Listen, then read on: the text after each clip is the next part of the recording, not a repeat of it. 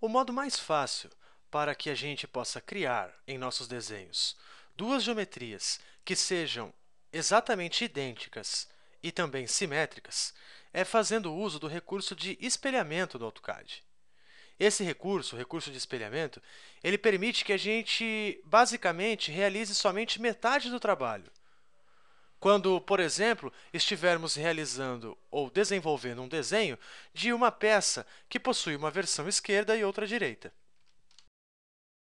O recurso de espelhamento no AutoCAD ele permite que a gente crie uma cópia espelhada a partir de uma peça original, como vocês podem ver aqui.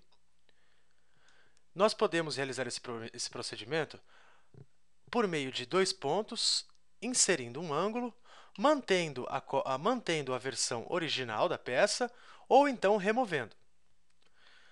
Uma vez que a gente realiza esta cópia, nós então temos duas cópias idênticas, uma, por exemplo, na versão esquerda e outra, por exemplo, na versão direita, sendo que as duas são exatamente idênticas, porém simétricas. Esse recurso no AutoCAD ele pode ser acessado de duas formas diferentes. A primeira forma, basta a gente vir aqui até o Ribbon e selecionar esta ferramenta, Mirror, como vocês podem ver aqui. De uma vez que a gente clica nela, a gente ativa o comando e podemos utilizá-lo. Uma outra forma que nós podemos utilizar é pressionando as teclas MI no teclado e logo após a gente pressiona Enter. Aí, da mesma forma, a gente também ativa o comando e pode, então, fazer aí, utilizar o recurso de espelhamento. Eu vou, então, ativar o comando de espelhamento pressionando as teclas M e no teclado e depois Enter. Aí, então, o próximo passo é selecionar o que a gente quer espelhar. Então, eu vou abrir uma janela aqui e selecionar todas essas geometrias. Pressiono Enter novamente.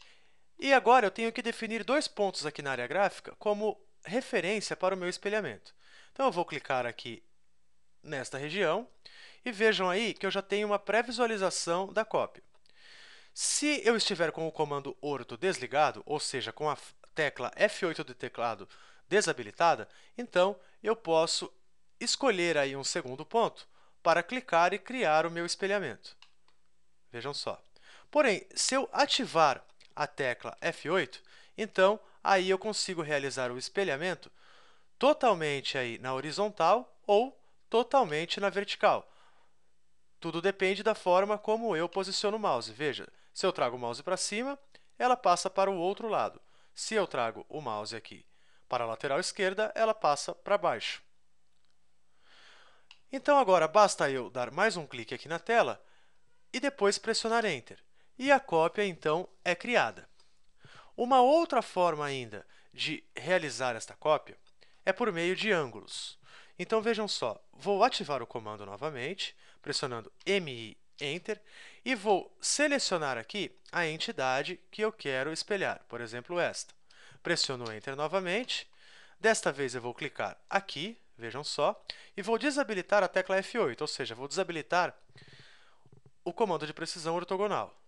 Aí, então, eu posso criar então, o meu espelhamento livremente. Porém, agora eu vou pressionar a tecla Tab e vejam aí que o campo de ângulo ficou editável.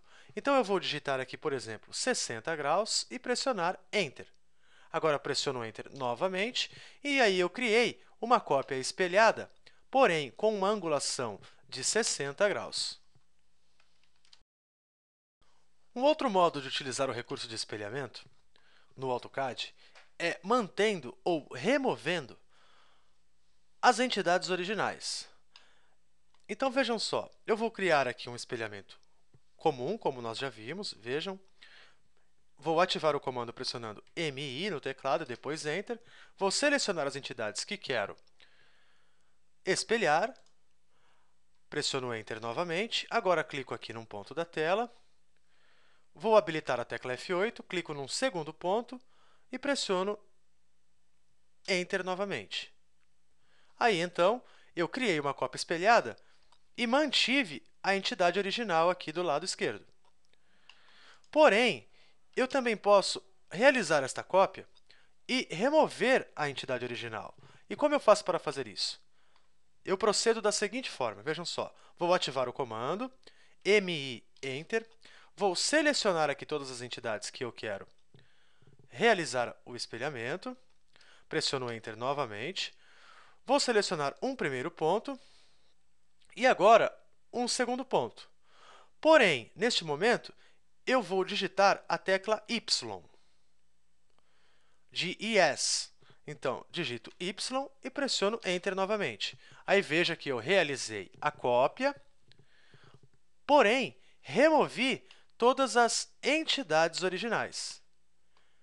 Eu posso realizar aqui mais uma vez o espelhamento, pressionando MI Enter, seleciono agora desse lado as entidades a serem espelhadas, pressiono Enter novamente, clico no primeiro ponto, clico no segundo ponto, e aí então posso pressionar Y e Enter. E veja que agora eu criei mais uma vez o espelhamento, removendo as entidades do lado direito e trazendo todas elas para o lado esquerdo.